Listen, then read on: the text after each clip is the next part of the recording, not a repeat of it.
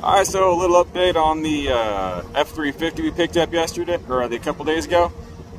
Still in South Dakota. Um, excursion blew a head gasket as we were leaving yesterday morning. Uh, coming out this little hill and everything kind of just went to crap after that. Ended up having to get the excursion uh, towed to Scotts Bluff. That's a 200 mile range for AAA. You know, it's 200 miles closer than it's going to be. I had to come back up here and get it.